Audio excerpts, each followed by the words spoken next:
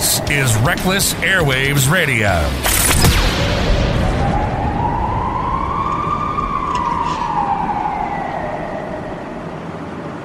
This is Rob from The Rob and Slim Show. Check us out every Wednesday on IPMNation.com forward slash live two. You are listening to Reckless Airwaves Radio.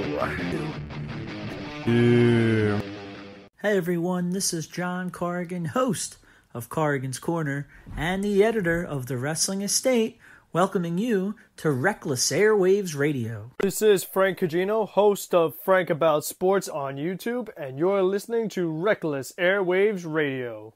Hello, hello out there. This is Tony Myers, aka Chainsaw Tony, FMW Leather, Leatherface. And you're listening to Reckless Airwaves Radio. Don't touch that dial. Reckless Airways Radio. This is Frankie McDonald. I'm doing great. You're listening to the Reckless Airways Radio. Hey, this is Reckless Airwaves model Valerie, and you're listening to Reckless Airwaves Radio. Uncensored, unfiltered, unforgiving radio. And be sure to check me out on the site at recklessairwaves.com.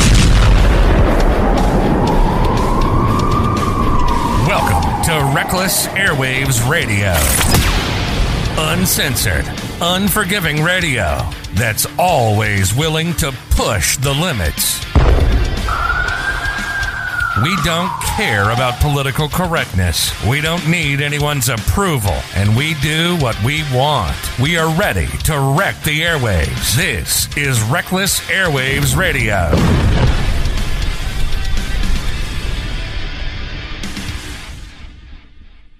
Hey, how you doing, Tony? Uh, how you been? I'm doing good. How about you? Oh, always uh you know, every time I talk to you, man, I'm always much better. this is always a fun interview, right? always. I mean, it's, it's one of the things you really look forward to that I look forward to. Uh, I get so I get to get so much off of my chest and get to pretty much uh, you know audibly uh, quote out the stuff that I just don't want to fade from my memory too. So Right. therapeutic also. absolutely, absolutely. Hey, Tony, I see you got the COVID shot. Both of them, yeah. Um, it's it's one of the things at my job because I work around food and we also provide a lot for the hospital. Um, so take that into what you will. You know, you could read between the lines there. Uh, yeah, there's a lot of stuff I'll touch on tonight where you could read between the lines and tell what I'm saying. But yeah, um, so I got my second shot like a week ago and had all these weird symptoms, but Oh man, You know, that's what I was going to ask you. I was going to say, how did it feel after you got it? I know a couple of people who got it, and they said they nothing. You know, a little pain in the arm. Uh, maybe one person I think said they felt a little tired. They don't even know if it had that had to do with the shot. I haven't really heard anybody say they really had anything bad happen though. Thank God. Yeah, Mickey Knuckles. Uh, Mickey Knuckles works at a hospital, and and she wound up going right back to the hospital. She works at uh, after her second shot. It was um, but hers was like an like a bacterial thing that was going on in her stomach. My stomach felt real queasy. I was able to keep down food, but I was finding these like one or two second lags when I was just on my feet. It was the weirdest thing, and um, you know, tie into that with with my stomach just feeling queasy and just feeling like uh almost feeling like I just at any given point in time wanted to heave and vomit, you know, but Oh man, I, um that, that's so that's yeah, never a good feeling. you know, they say that the worst um pain you'll feel is a puncture wound, so um but th- this the guy's looking at me all weird. The kid's got tattoos all over his forearms and arms and I thought, my goodness, even if he's a male nurse, you know, Right. to to take one look at my scar tissue and kind of cock your face like he was, I was like, well, look at you.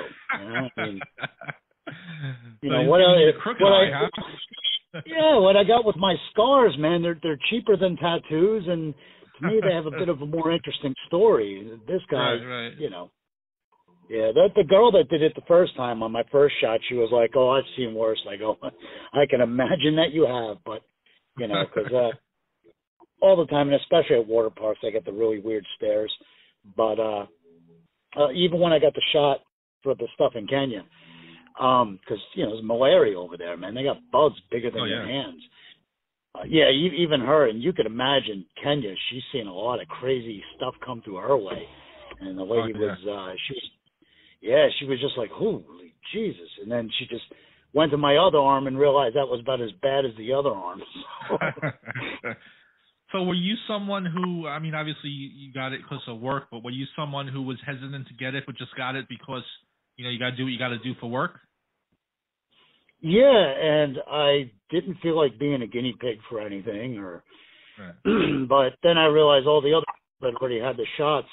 Uh, the horror stories aren't out there, and I did as best I could to research it and and said, all right, you know, I mean, uh, at this point, there's I'm not losing out on anything. You know, it's being offered to me, so Right. and um yeah, the, it was weird because the first set of people uh that I went and got the shot done around were all like 20 years older than me.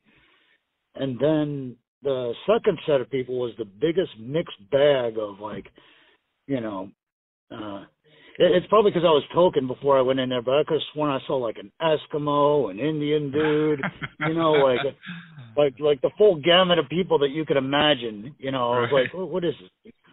Looks like a meeting at the up- United Nations. Where did you get it? Did you get it like at a well? Obviously, I don't think it would have been a CVS, right? What did you go to like a facility to get it or something? No, this was at an actual like hospital, hospital, the Mid Atlantic Oh. Care. Um, and they've ordered from you know our catering company so many times in the past, and uh, it came up with an opportunity, and they realized, hey, you guys are going to be handling our food, so you know, Yeah. it was one of those you know one hand washes the other kind of deals. Right. But um, yeah, it was a, a real mixed bag. So no telling how these other people were able to get their shots. But yeah, I mean, Right. um, yeah, and and people were just kind of. I don't. It, it was like such a weird vibe in the room, you know. It was like uh, a bunch of strangers. No one's talking to each other really. No one's even looking at each other. Yeah. Everybody was just going on about their business in like a They really just wanted to get it over with. strange kind of way. Yeah.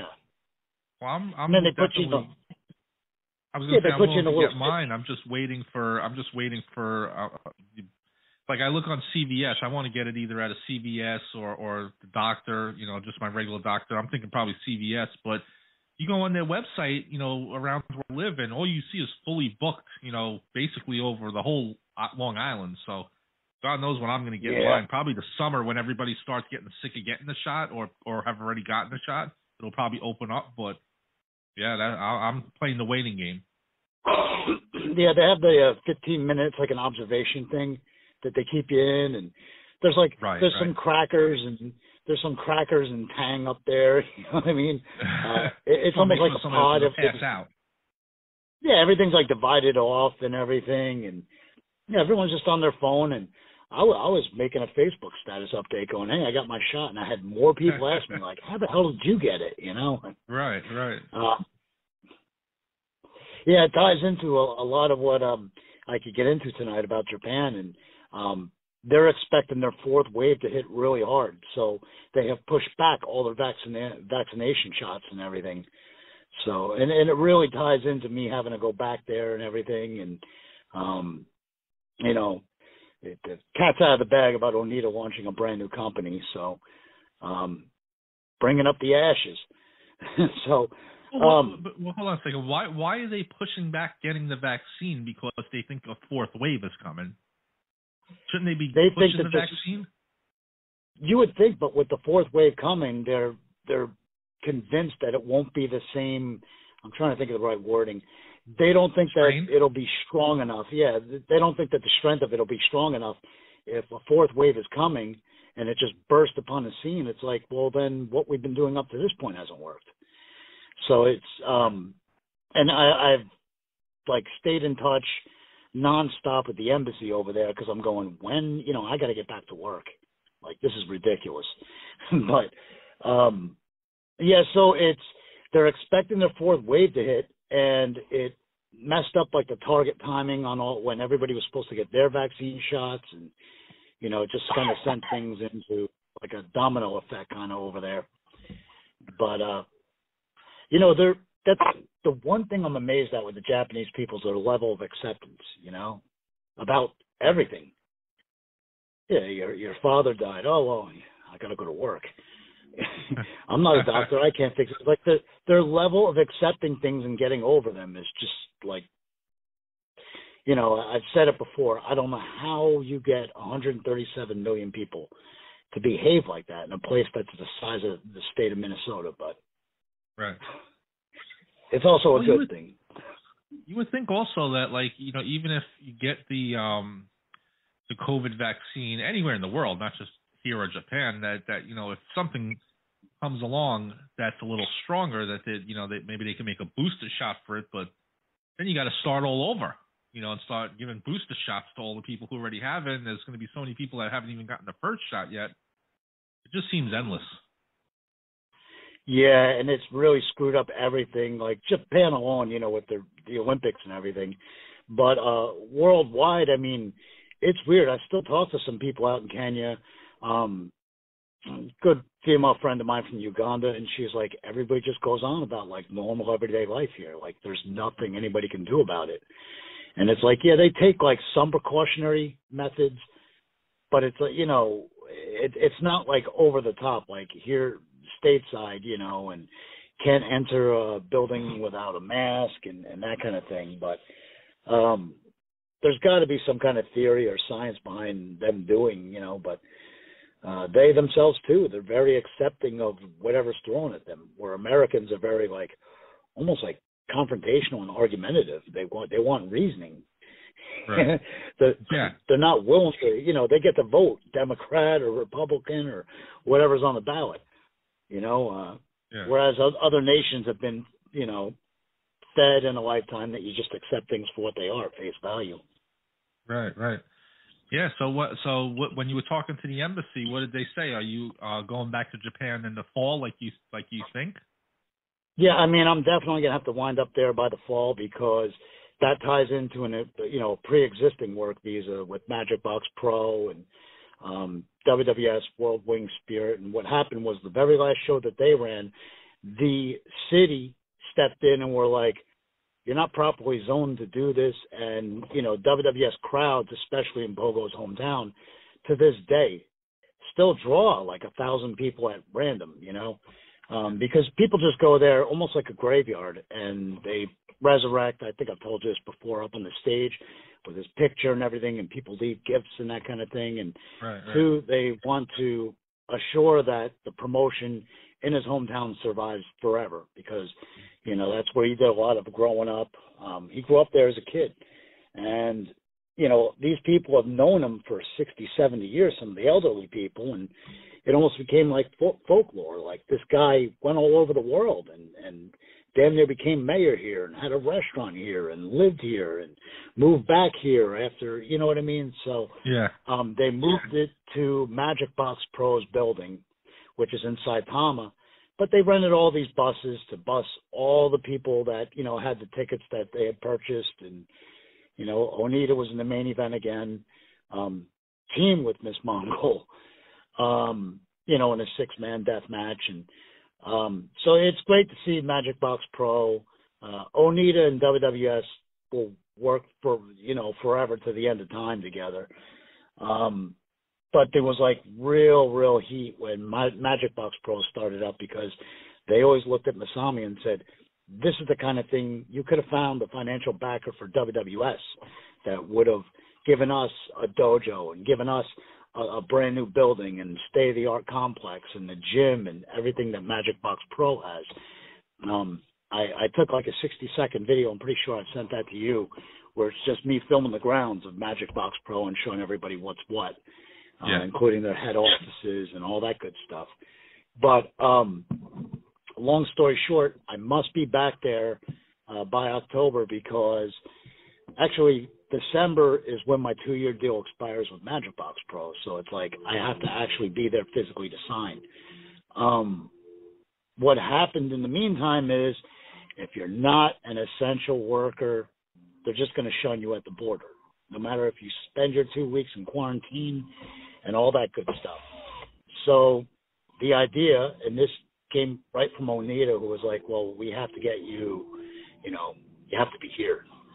So he's in the midst of launching. He's going to wind up with several restaurants that he launches, like a whole chain that he's going into partnership with with old friends. And there's already like a couple coffee shops over there that he runs, um, that he's in charge of. Um, this is just something, you know, while he's not in the ring, this is something he's passionate about. And um, of course, like I said before, you can do the whole read between the lines thing. Easily, you can be an essential, you know, have an essential, be an essential worker with your work visa if you're working in a restaurant providing food. For pro wrestling, you know, and this is what's been described to me at best by the embassy. With pro wrestling, it's going to damn near be impossible to be labeled an essential worker. So, right. We well, have to find so you way basically just it. say that you're returning there to uh, work at the restaurant. Exactly. That's the Yeah. easiest, you know, way around everything. The thing is, is that the vaccine, you know, the vaccination and, and all those shots and everything like that, they're expecting this fourth wave to hit in the spring. So Onita and his partners pulled back and said, well, then it's going to have to be summertime. Going to have to be the summertime or post summertime after this big fourth wave is hit.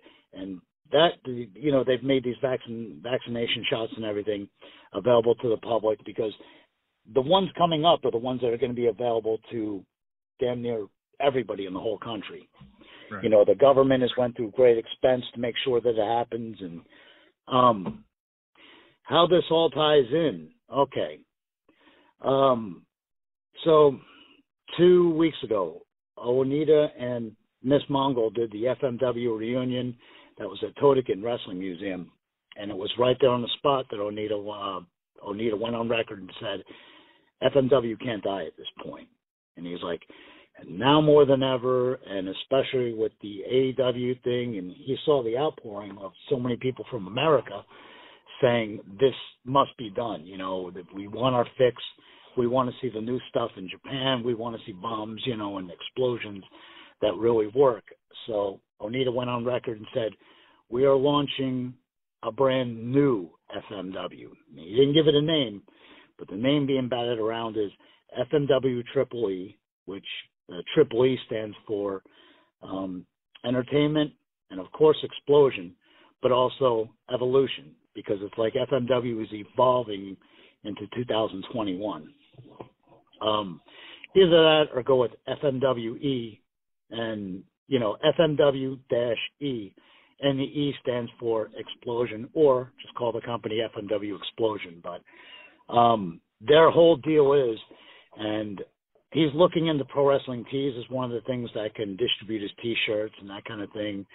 Uh, i myself have looked for the best pay-per-view provider. Um, streaming uh, web and that kind of thing uh, here in the states so that will be available available to people here and people worldwide for the most part so you know all the plans are in order and everything it's just it's going to take a bit of doing but the very first event is scheduled for spring. So um, take that as you will, you know, because uh, with with the other things going on, and you know, with us still being in this whole COVID thing, so Yeah. um, but yeah, you could see the pieces of the puzzle coming together. Well, I thought the announcement was basically just that they would just coming up with like kind of like their own version of a WWE network. I didn't know it was going to be like a. They're just basically trying to just revolutionize the promotion, right? Just trying to get it out there more. and you'll see more and more details surface as they come up. I'm not going to go like you know some things. You know, I, I still in a way believe in kayfabe, and Yeah, you there's can't tell reasons everybody why. everything. Yeah, there's reasons why as far as this goes because there's so much being batted around that you know I can't explain and expose every single detail that you know is being worked on and and that kind of thing. But um they want to go with monthly like big events. You know, they're going to run regular house shows and they might air, you know, some of the results from the house shows or some of the footage of the explosions and that kind of thing. But, um, you know, their plan, the tentative plan right now is to go with 30 or $35 for like, um, pretty much for like a pay-per-view, pay-per-view like format, like how AEW has theirs. Um, they figured they wouldn't go more expensive than what AEW charges, but you know, it's pretty much it's the talent and the undercard. I mean, he's going to go back to the original format of taking anybody who's not signed up with a major company and and there you have it. Uh, just as long as there's talent there to work with, you know, there'll be Right. comedy and everything under the sun. How the old FMW was structured and pretty much how um, WWS World Wing Spirit is structured, where there's a bit of everything for everyone. You know, a boxer versus karate guy, you know, and all those kind of things. Um, but their idea is, yeah, to go with like pretty much like a major event monthly, and then see, you know, based upon how they do with pay per view buys and streaming and and that kind of thing. Um, see if what they're charging is the right price, see if it's worth it to the people, get good feedback. And, you know, my idea coming off the top is, and, and I said it, I'll be true to my word. If those explosions do not work, I myself will go through whatever legality I have to to provide a money back guarantee because uh, me myself, you know, I'm, I'm sick of dealing with it and I'm sick of hearing it. It's every time something's on U.S. soil, it does not work. And you know, ultimately the the plan down the line is get Onita back here because there's several promotions here stateside that want to use them and and that kind of thing. But um, if we're gonna go that far, it it has to work. it can't it can't be. You know, we the both of us knew me, him, his girlfriend. We would just sit there and you know kind of brainstorm, and I told him going into the AEW thing, and he said the same thing. He's like, "It's not going to work." And then what happened happened. but Right. two, two, the both of us just kind of told each other, you know, in in a strange way, we're not there to bash it. We're not there to trash it apart and be like, "Oh, you see that? Only we can do it right." No, it's not that. It's um, you know, really to me, it's more about the people that were sold on it and spent fifty dollars and saw that and were disappointed. You know, uh I feel bad for the people that tuned in to watch it and and that's what they got, you know. Well, let me ask you a few I feel- questions on that because because that's actually a bit uh, a- a part of what I wanted to ask you about in this interview was that Kenny Omega Jon Moxley electrified barbed wire match at AEW. Um, the first thing is, you, isn't it isn't it true that you're never going to see the kind of explosions that you see in Japan because of you just can't do that in the United States with the building codes and stuff like that. You can't just fill up the building with smoke, you know, like that.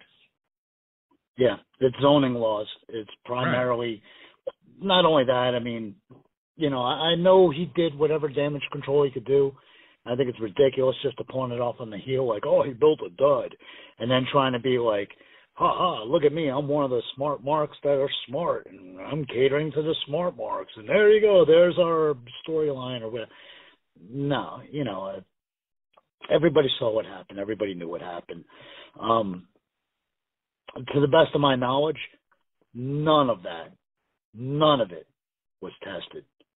It was just going on the whim right there, like this is going to work. Oh yeah, yeah, they're going to be big bombs. and then um the people got what they got, but it's primarily zoning laws, and you even see at rock concerts. Uh, pyro itself. I mean, you've never seen a huge explosion. That just doesn't happen.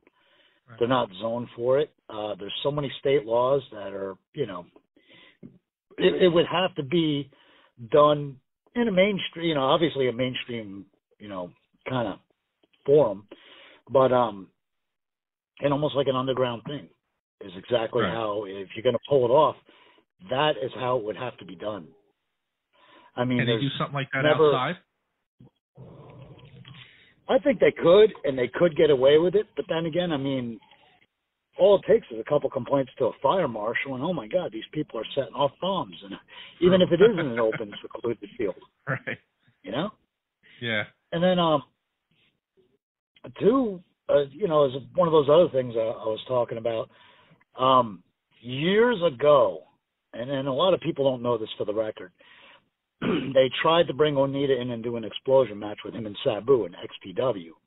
And everyone's like, oh, Onita screwed him. No, he didn't.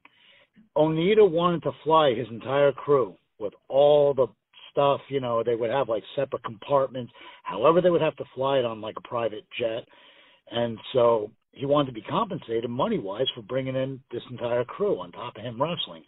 And XPW just thought that was a ridiculous price to ask. And I, I thought the funniest part of the whole story was I said Americans just don't have the engineering. And then uh, he got this funny look on his face, and he he looks over at his old lady and he kind of smiles and she goes, "Actually, the secret is all that stuff was built in America." and I go, "That's funny because you know when they talk about Japan bashing, buy American, buy American." Every last one of those engine blocks in the cars, you know, American-made cars, from Japan. Chevy, Ford, most of that, most of them, you know, the metallic materials and everything. Yeah. Almost like what is it, like 90, 95 percent of that is built in America, down to right. the engine block. Right, right. Well, you know, or is actually, I'm, I'm sorry, it's imported from Japan. It's imported from Japan into you know American into America. Know, cars. Right, right. Yeah. I was going to ask you though. Buy American. You know, as, as, far as the, the the Omega Moxley match, what did you up until the ending? Let's leave the ending separate for a second. What did you think of the match up until that point, though? What you know was the uh, the exploding barbed wire at least passable? Yeah, I went back because I had to watch the whole thing because I go, it's not fair just to watch an explosion and be like, poof, you know, hey. Right. Um, so you know, I went back and somebody had sent me, went back and watched it, and um, it's weird because Onita himself spent fifty dollars in order because you know, for obvious reasons. Um, but up until that point, and I said it, I go up until that point as far as an explosion match and bats and barbed wire. I go, that damn near blew away anything I've ever seen. And Onita was like, that was so. He's like, those two are good, and he knows who Omega is. And I mean, Moxley, he's not that familiar with. You know, he knows of Moxley by proxy. Yeah. Yeah, but um up until that point, I mean, those two were absolutely incredible. They were having an unbelievable match. And I just hate how much is going to be taken away from that because of, you know, the lack of explosion and that kind of thing. It's just really not fair if you get to looking at it, you know. Yeah. Just to look at that explosion and every bit of effort that they tried to put in before that is completely written off and forgotten. Of. All because yeah. of that. Now you, yeah, you the, know, uh, you've been involved in these matches before. You've been there, I'm sure, when they set these things up. You know what explosion the explosions will look like and and what they're supposed. What what in your opinion, just from what you saw, obviously, what was supposed to happen at the end? Was it supposed to be a gigantic bomb going off on both sides of that ring? You know, with all the smoke. Or, or, or was it not supposed to be that? It was supposed to be a big kaboom, and I just felt so bad. You know who I really felt for, including all the fans that got sold on something that didn't deliver. Who I really felt for more than anybody is poor Eddie Kingston. You know, oh, yeah. who was in the He was world's in the most the. Yeah. Yeah, what an unenviable position. And Kingston himself is one of those guys.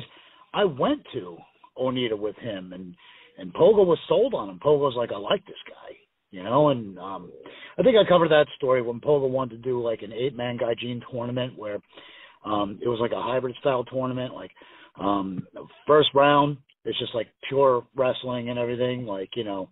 Uh, you're allowed to like hit the ropes, but you're not allowed to go outside the ring. Like everything is like kind of like grappling. You know, like who is the best? Who's the workhorse here?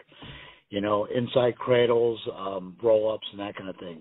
And then the second round he wanted to do this was at Korakuen Hall, and then he was going to put the rest of the WWS like undercard, you know, all over, and then probably you know have him and Onita in the main event as he always did. But um, and he went through the process of selecting eight guys that he wanted bad, you know, that were like you know, and um, he goes, I don't want guys who are guys that you know that are already over here. Like no, Japanese people have seen them already. He's like, I want to go for something all the way new. And each of the people that just wound up being on his radar, uh, Kingston was one of them, you know, and, and And I was like, my God, can you imagine if he makes it to the second round of this thing? Like he gets to show Pogo what he's really all about, you know? So um yeah, it was like um so Eddie himself, you know, I went to bat for and uh had had some conversations with him and then the untimely passing of Pogo and of course none of it got to pan out, but for years I always looked at Kingston I go, promos alone, why the hell isn't this guy signed somewhere? I don't we're past all the physique stuff. We're past all that, you know, other stuff.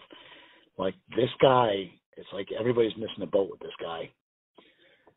And then Right. lo and behold, you know, AEW and everybody gets to see what he is on a national basis. And, you know, he he's been getting his praise, man. He's been getting his due lately. And uh, you know, Oh, yeah. it's about time for him. Right. But for him, as hard as he has worked and as much as he's busted his ass and all the shitty indies that he did for next to nothing all these years, and then, you know, that moment in time where he finally goes in there and finally, you know, big baby face turn and the poor guy's got to stand there and, you know, and, you know, have to oversell a big, you know, a little poof inside the ring. It's just, Yeah. you know. so what, what what went wrong there? Like was was it just not rigged up right, or was it just not the right bombs that they picked? Because I know nothing about this. You know that.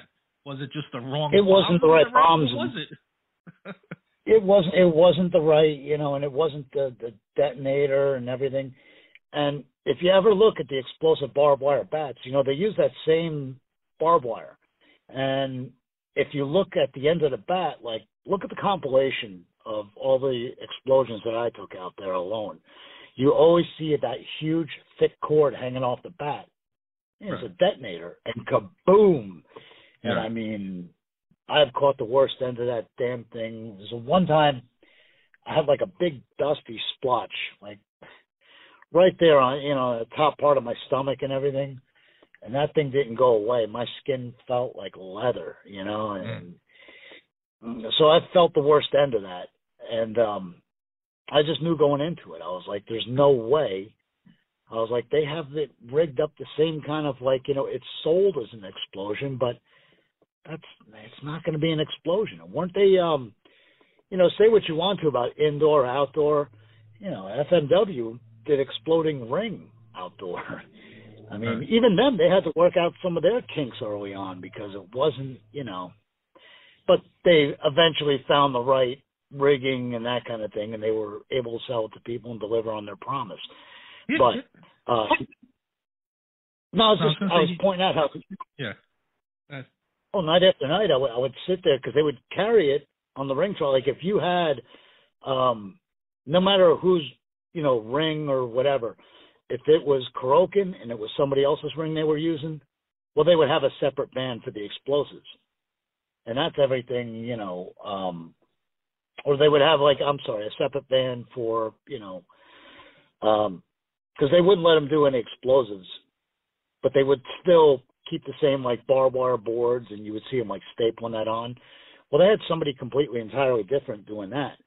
Um, but to point out, like when I did the Saitama tour, night after night, they would just put those same exact explosives right back onto the ring truck, you know, and they'd be ready to go the next night.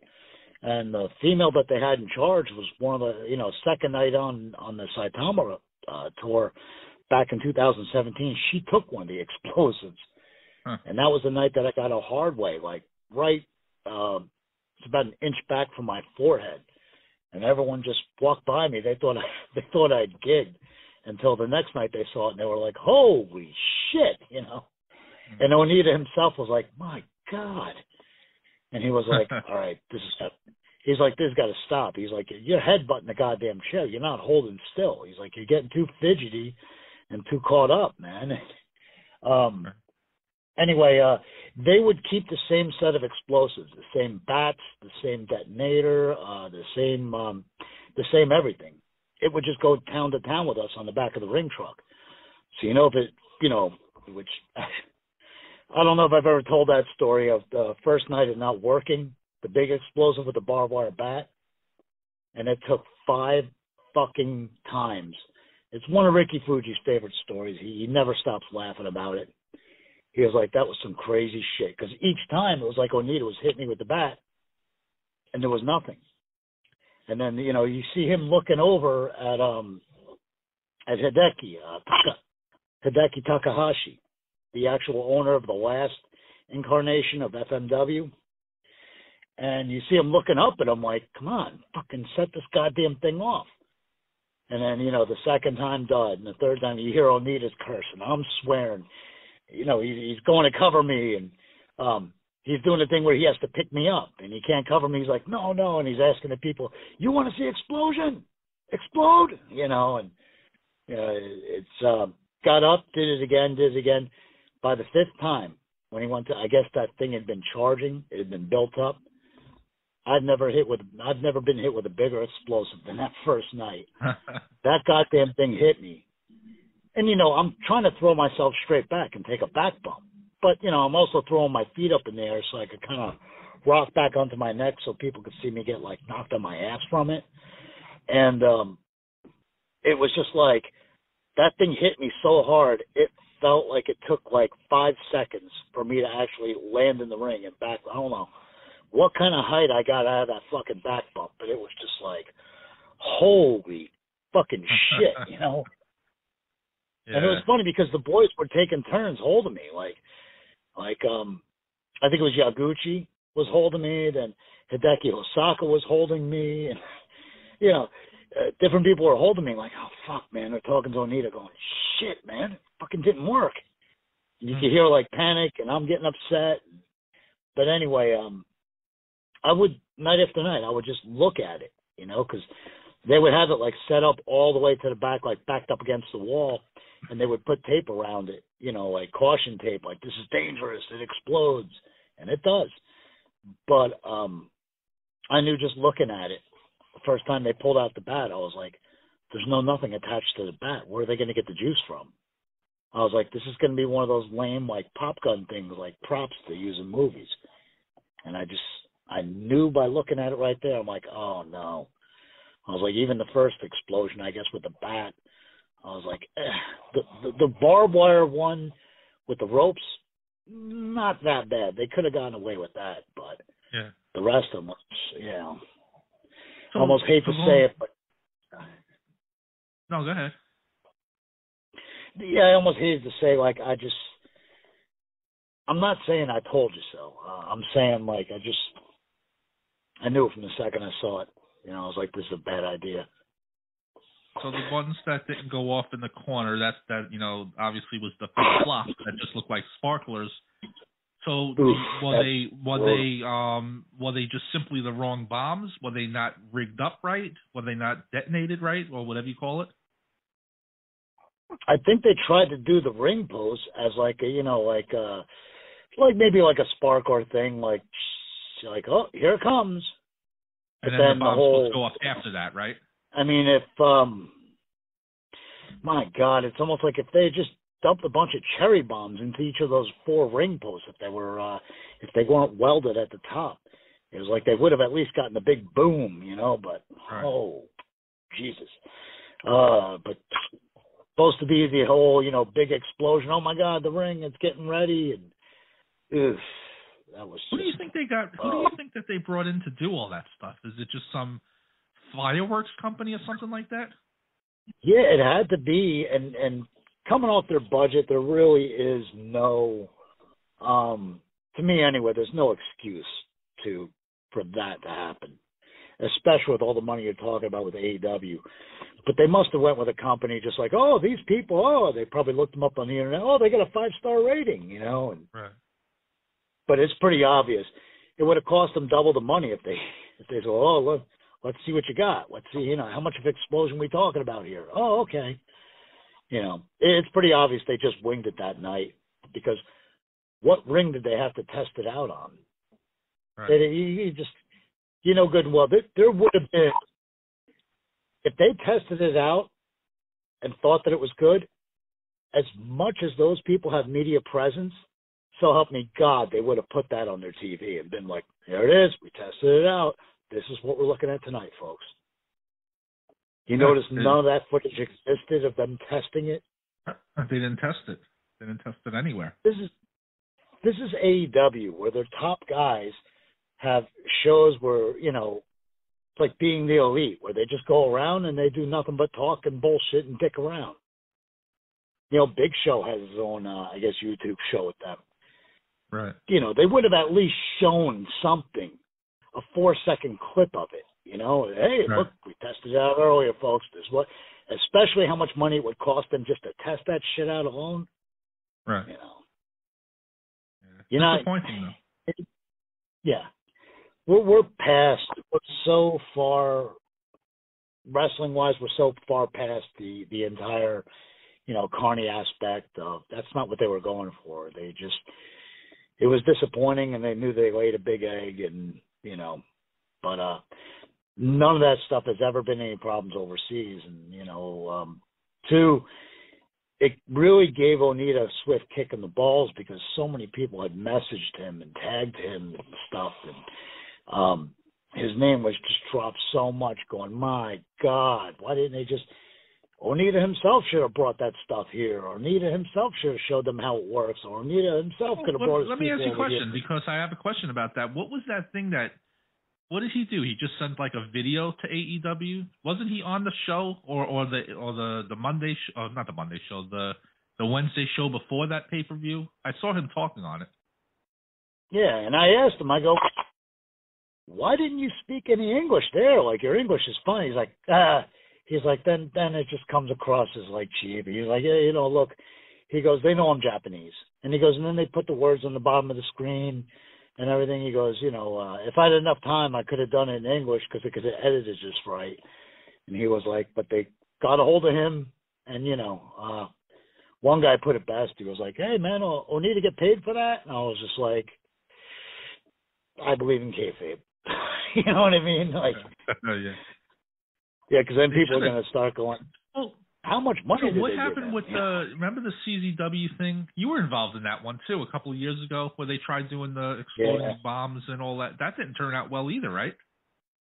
Not at all. And it's like last minute, they didn't know what else to do, and they actually wound up going to John Zandig. And I go, if there's one guy that don't want to see this get pulled off, it's him. But they were so desperate at the time, and I searched all the outer limits of my mind, going, you know, what can be done here? And at the time, Wild Seven, Satoshi, who has since passed away of stomach cancer, um, we lost him like two, three years ago he was going, "Oh man, if these bombs are bad, you know how bad this is going to look. It's going to make us look terrible." He's like, they don't Onita's got to stand there in the ring," and I could see the wheels turning when he's talking to me. And you know, at one point, if you go back, and I could actually send you part of the clip where Onita glances back, and while we're walking back and forth, because you know afterwards in the post match, you got to hand him his water because he does an endless supply of water he throws out there not only that, we were FMW and we were all together. Um, so you see him, you know, glance back and he's like, uh, "Non te maska, skoshi kane." And he's saying, "Do yatte, how do I say?" A little bit of money here. These people are cheap. How do Yeah. Can you hear me? Yeah. They didn't go the full when hear- huh? Yeah, when he when he um cut the whole promo about CZW is cheap, cheap, and then he did the whole. uh It was so brilliant how he tied it in like all.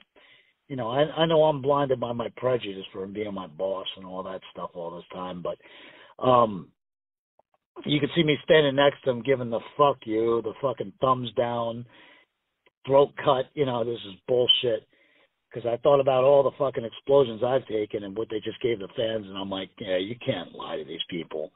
But it was all backdrop for him telling Tremont, you know, in the ring that night, which you know we knew earlier in the day that Onita was bringing, you know, he just needed somebody else to go, and he just looked at DJ and said, hey, you're the owner of CZW, you come with us, and we'll have our match. So it was all they- they big did it in backdrop Japan after that, right? we did no Odaiba, the ten man, and they gave us a squash win uh, for 18 Pro Wrestling leading up to that. Because you know, 18 about their entire undercard worked for the latest incarnation of FMW, but um, yeah. So going into it, it was Satoshi going, "Oh, it's going to make us look so bad," and then they're bringing you know he's like, they're bringing some of our crew over there. Like, we're gonna have to fucking stand there and be like, what the fuck, you know? Right. And um, and I told him, I said, it's just it's the zoning laws, it's this, that, and the other. And I go, you know, I told him, I go, right about now, I sound like a, you know, I, I got more excuses in me than than a nun giving a blowjob. You know, it's what, what are we gonna do? Right.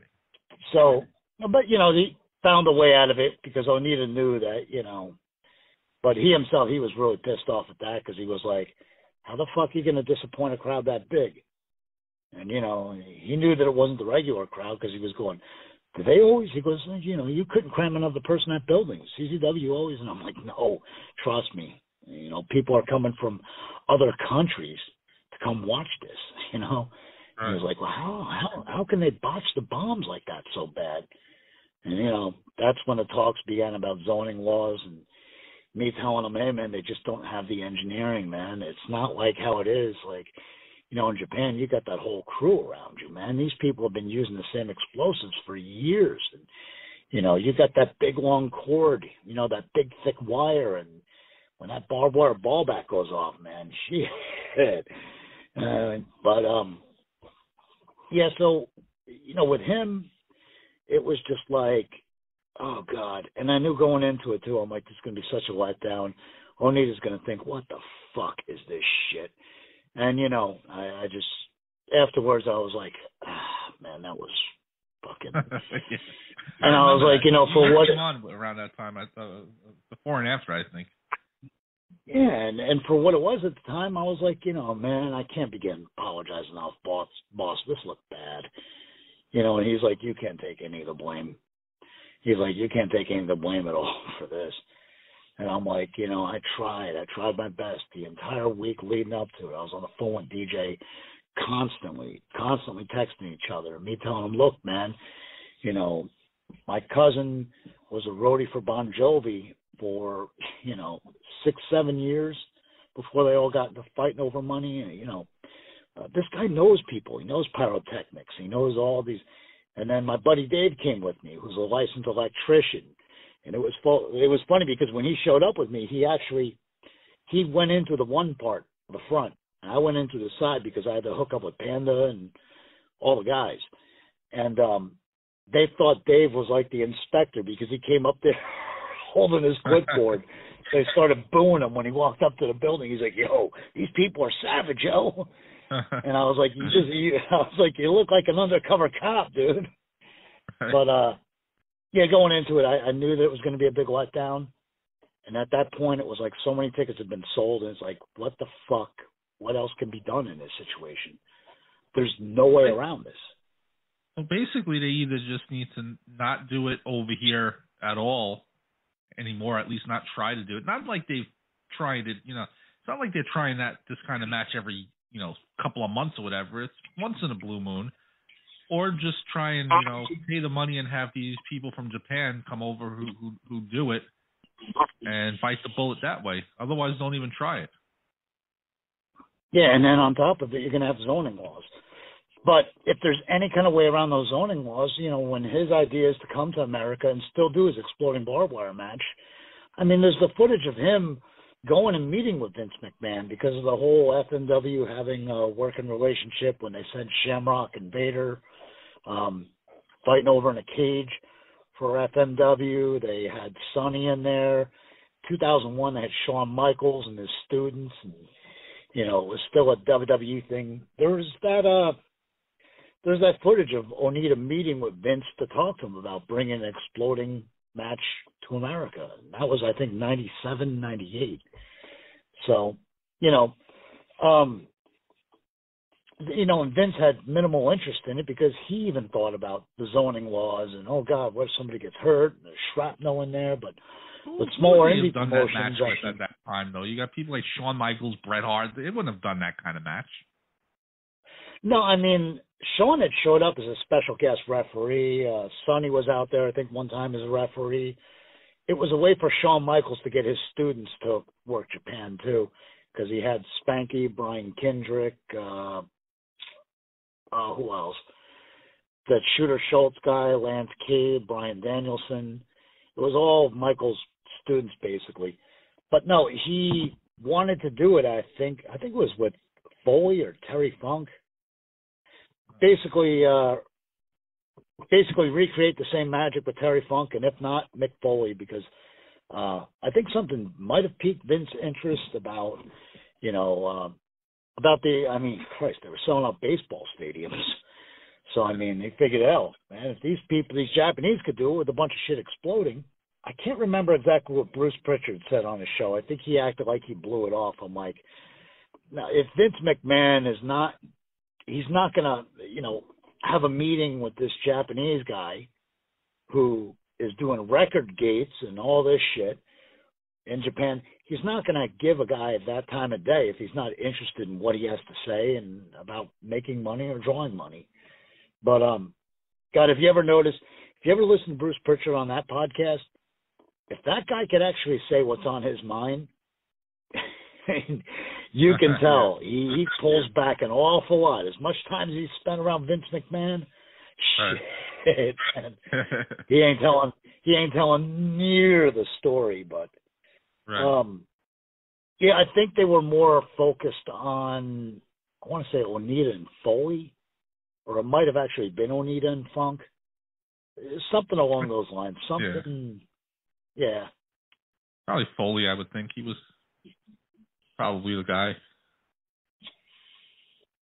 Yeah, and I mean, um, too. I mean, uh, look, look at the stuff that Foley wound up doing, all that dangerous shit with um, jumping off the cage think, and all that. Yeah. Yeah, no, just. I mean, did you ever think you'd see Triple H with thumbtacks? And did they do fire right. at a WrestleMania with Flair and and Edge and Foley and them out there? I mean, so you, you could like see Vince going outside the box. That was one of those yeah. ECW reunion kind of shows, I think, with the fire. Yeah. Yeah, and I mean, even with ECW, he knew that there was some kind of nostalgic. So I mean, whatever he could milk that for what it was, yeah, it's just pretty much what they did. Right, right. Whatever they could milk it for, you know, whatever dime they could squeeze out of it, yeah, sure will. They did. Very interesting yeah. though. It's, uh, you know, when you look back at that at, at that AEW match and everything like that, they probably won't try that again for sure. But you know, it was it was a, it was a good match up until that point. I would say it was passable anyway. I mean, it was it was it was enjoyable. But like you said, everybody's just gonna remember uh, the sparklers at the end. Yeah, and um, too, it also got to the point for me where I started reading other people's statuses, and I would get involved, and I'd make a comment here and there. I wouldn't tell them, you know, the whole story or what's going down with this, that, or the other. But um, mm, I think it was actually Rob Feinstein himself. I had made a comment on his, and a guy a guy tried to tell me, oh, the whole thing was a big work. The whole thing was a big work. It was a work from the get go. They never intended for anybody to uh, take a dangerous explosion, and this, that, and the other. It's just like I don't I don't even want to try to argue any kind of logic into somebody thinks like that. Like who said that? Just Rob leave that person. Oh, what'd you say? Who said that? Feinstein said that. No, it was somebody that was, you know, responding on under um, a oh, comment he made. Okay. Oh, he agreed with me. He was like, "Yeah, it was and I told him, I said, man, there's there's nothing like the real thing, baby. You know, it's like all the explosions and all the other. He knows who I am. He's known me, God, like three decades now. But uh, it was somebody that had made a comment under his thing, and uh, you know, I corrected the guy at first, and then uh, it was the guy that was commenting under his status that said, no, the whole thing was a work, and and you don't even want to try. You don't want to waste your you don't want to waste your air even no. talking to a guy like that. That's that's that completely clueless. You know, to think ah it was a scam from the get go. They weren't ever going to make nothing explode. Uh, right, waste of time. oh yeah. Now I have a few more things for you, Tony. Uh, what what was that IWGP Divas looking title that I saw you post? That's a weird yeah. looking title. That almost that? looks like the Divas title unpainted, right? They unveiled the brand new IWGP World Heavyweight title and all of its glory. And um you know, back when I was in Memphis, uh, independent promoter who is now one of the top belt makers in the entire world, David Millican. Um, my God, that was just oof. Like I said, it looked like the Divas title fucked a bucket of chicken. You know, it's yeah. What, Looks like an unpainted a- Divas title. oh Lord, what an ugly fucking belt. as much as people have had to go through for that thing, you know, Yeah. what a what a butt ugly. What the hell were they thinking, man? yeah, they'll probably change that over time. They're gonna realize how bad that is. Somebody, I, I mean, I, I'm I'm I'm hoping for that belt to throw itself in the fucking river. I mean, oh my god, what an Well, ugly belt. You posted this thing about this guy, and, and I honestly had to look him up. I didn't really know who he was. Um, this Captain Ed George, Eddie Farhat Jr. I guess he turns out to be he. What is he? The the the Sheik's son or something like that? Yeah, legit. He was the Sheik's son, and um, And I guess he turned into a only- promoter or something. The only place he ever worked was for his dad for the Sheik, and um, I mean his Sheik's whole heard of him. family. It was always, yeah, it was the Sheik's son. He wrestled as Captain Ed George on the undercard in Detroit for a long time until, um, he just eventually stopped wrestling, and he was in charge of pretty much like an agent, I guess you could call him, or um, he was mostly in charge of the box office uh, because it was always the Sheik's wife, Joyce, that would work in that office, and then her father, the Sheik's father-in-law. So he always kept them with a good, you know, good paying job and everything. And that territory always made its share of money because they could never go on record to say that a heel like the Sheik actually owned the whole thing because people were paying good money filling out that Cobo Hall. What was it? Yeah. Every Friday night to watch him get the shit beat out of him. So Yeah. that would have just killed everything to admit that he actually owned the whole thing. But uh so Captain Ed George was a guy that just kind of hung around. You know, he was an extra body. He was the Sheik's son. You know, the Sheik thought he could depend on him, and you know, they over the years they had their spats, and even to this, even before he passed away, people would bring up Ed George's name to Sabu, and Sabu would just be like, "Oh, I have no family. Fuck that guy." And you know how Sabu was about his own. You know, I mean, he Yeah. worshipped his uncle. He Right. will he will never go on record to say anything bad about him at all.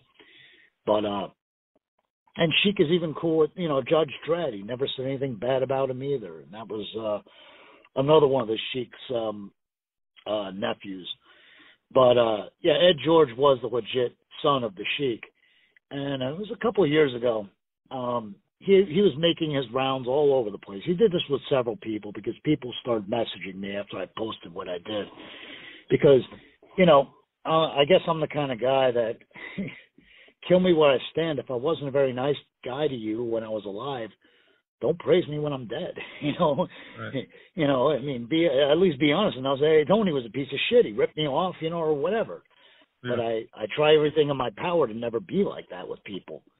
Um, he was pretty much from the Carney days. You know, he was full of shit. And uh, you know, in all truth and reality, it was He stole uh, from people. yeah, he did this scam where he said, you know, uh, we're getting cable in here, here, here, here, and you know, we're we're starting up. We're gonna have uh, we're gonna have cable in Jerusalem, and just making up all kinds of crazy shit. And uh, you know, they tried starting up the AWWL, which was like a brand new Detroit territory, which had a set of decent tapings, and the Sheik was the top guy, and a lot of good talent on there, but it wa- I think Ed George had his hand in that, and he was just his uh, legal name Ed Farhat Jr. Um, anyway, for years and years, he always used the Sheik's success to try to rake in any extra dough he could. Uh, when the stories started coming in about um, another one I got was a guy that was like uh, it was one of the Sheik's old oh god was it one of his headdresses and the other the nephew of the sheik said yeah man uh he's like i'll sell it to you man a hundred bucks. And a friend of mine was like wow that's a great deal. And then uh, a couple days later ed george gets back with the guy and goes i'll sell it to you for two thousand dollars. And it's like it's like what the, what is this thing in storage you know? Like yeah. just shit like that. But he somehow wound wound up in Mr. Pogo's uh, inbox, and Pogo goes, "This guy," and I go, "I know exactly who that is." And I go, "That's the Sheik's son." And he goes, "Well, I know the Sheik." He said, "I don't know nothing much about his kid." He goes, "Find out what does he want." He goes, "He keeps on messaging me, talking about you know he's got TV going here and there, and they're going to sell this TV to all these markets." And I mean, I could sell, I could send somebody, probably do justice if I had taken screenshots of our conversations, but it's the kind of guy he'll tell you everything you want to hear, you know, Yeah. everything out of his mouth, you know, is, is praising you and just building you up. And that's exactly what he did with me. And then, um, then he dropped the bomb. Eh, tell Pogo it's going to be $2,700 for him to buy TV in our market. Your your market for what? And, you know, I, when I started questioning him, you know, you saw him taking a step back. At first, he was still trying to pull the Carney shit, where he was like, "Oh no, yeah, you know, uh, no, this is TV that's going to start up. We see we have all this stuff in the can, and I've, I've talked to the I've talked to the studios and the TV stations. I go, which ones? You know, and so it was more than obvious. You know, he couldn't come up with any names. Yeah. Yeah, and I mean, if you're not going to go on record, and I mean, usually you would kayfabe something like that because you wouldn't want to give up your stations or whatever. But it was just so obvious he had no deal with anybody, Right. especially the moral line of questioning and how I was Right. able to word it when Pogo was talking to me and everything because I was having to, you know, say what Pogo was saying to him and then add on my editorial shit. Right. And um the guy passes away and I just know I made that status and I you know, I'll stand by that until the day I die. Yeah. You know, the Oh, guy died oh, penniless. like he was a very crooked man. Yeah, he died penniless, seventy seven years of age. Uh died with, you know, owing a lot of people and lying and leaving behind a whole list of people that he screwed over for money that, you know, he did that because he mooched off his dad's name and um died in a lot of pain due to corona and it's you know, justice has been served. Yeah. You know, he's Did you see um, borderline homeless. Yeah, I mean, speaking of shady, you know, shady people in wrestling, I don't know. You know, Synergy Wrestling, right? That's all. It it went out of business uh, just recently because this guy Colin West, they found out was a a, a pedophile Like or whatever. Pedophile. Yeah, I Yeah. heard about what, that. what did you think of all that? Because that thing, that Synergy Wrestling was on fire, kind of on the on the indie scene. A lot of wrestlers from, especially from the Northeast, were, were doing very well there. And then they, I guess his name showed. I don't even remember. Uh, I'm trying to think. Just somebody just Yeah, found there his name a- somewhere or whatever, or saw his picture, I think, on it, on like one of those lists. I think it was actually it might have been the wife of Jeff Cannonball, uh, Tara Calloway. yeah. wound up finding this out. Yeah, and she put it out there that the guy was, you know, had been busted several times in the past, apparently for being a pedophile. And it's yeah. a shame because there was so much young talent that I know, that I personally know, that have worked out at a local gym that I work out at, and you know, their heart was really set into it, and you know, they would, hey, I'm doing good with Synergy, and I would hear the name, hear the name, hear the name, and it's a real shame because, um, you know, places like that, you know, just seem to pop up all the time. Um, very rarely do they catch fire. I mean, one of them that did was like Beyond Wrestling. You know, when it caught fire, it just did. Yeah. But with Synergy, I knew that it was a place that was paying these guys, you know, I guess nothing. I guess it was just more about the exposure and and that kind of thing. And it just sets a really bad precedent of not having to pay talent, having to pay anybody. And Is that true? They weren't really paying anybody. I, I if they were paying them anything at all, but there's so many places. I remember that Sanctuary Wrestling, uh, Sanctuary Pro, and a bunch of my friends tried to get me to go there, and I was like, for what?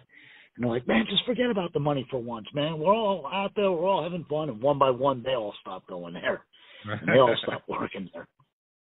What's up with? But yeah, uh, um, and, and I'm going to go back to that. Uh, The only reason I ask in the middle of all this is so I don't forget. What's up with Beyond Wrestling? Are they kind of shut down right now too? Truly, I I don't know. Um, I don't see I haven't heard anything really about anymore. them in a, in a while. I I would Yeah. figure them above all people would would keep on going if anything because they started out with the boys being the crowd, and they started out you know taping in it looked like a damn near a wooden barn like an old garage that the ring hardly fit in. but the boys were the audience. So you would think that they were used to running things on low to no budget, and with how much they've built up the name and how many views they get on YouTube, there's money being made there. Their downloads and that kind of thing. Uh, But I haven't heard anything from that group in a long Wow. time. Wow, I know It what's was friends name, of mine. guy. Uh, what what's the promoter's name again? Um, oh, I had him on once too. Oh Jesus! Uh, geez, you stumped me. It's gonna No, hit me right, like. Hold on. and when you on, do, I'm gonna be, oh yeah, that's right. He's got a real cool sounding last name. Damn it, I can't remember. Oh Jesus! Hold on. Almost there. Hold on. Drew Cordeiro. There it is. Yes, Yeah. Drew Cordeiro, who was also wasn't he behind WSU for a while? yes, he was. Yeah, with CZW. Yeah, he was a part of that as well. Yeah. With the women's thing, right? and him too. Um, I think they were starting out somewhere out in Ohio, so it was like a solid 14, 15 hour drive. But the guys from my local wrestling gym that I would work out with, there was like a Corvus Fear, Nick Talent, who's now Nicholas K with them and everything. Um, those guys would come back from doing those tapings and they would just be ecstatic about, dude, it is such a brotherhood. Everybody there is so tight, and we all just Talking about Beyond Wrestling? wrestle. Yes, when they were starting Yeah. out, they made this long trip, and they said it's like no money, and they're like, you know, eventually they they all saw money from it, but um, starting out it was just like a total passion passion project by the boys, you know, to go out there for this Drew Cordeiro guy, and um, I just know that it was like a really, really, really tight crew because uh, guys like uh, Nicholas K. Corvus, you know, they were always kind of sort of shunned in a way. Um, they were at the one local wrestling school I went to. It was kind of sad, which is, you know, what drove me to being friends with the both of them because I was like, you guys haven't done anything wrong. Why did why are these people like this with you? I don't get it. Yeah. And Do you um, remember um do you remember Wrestle Circus from a few years ago? Sure, I sure do. With Al Al Lenhart and his wife were running it.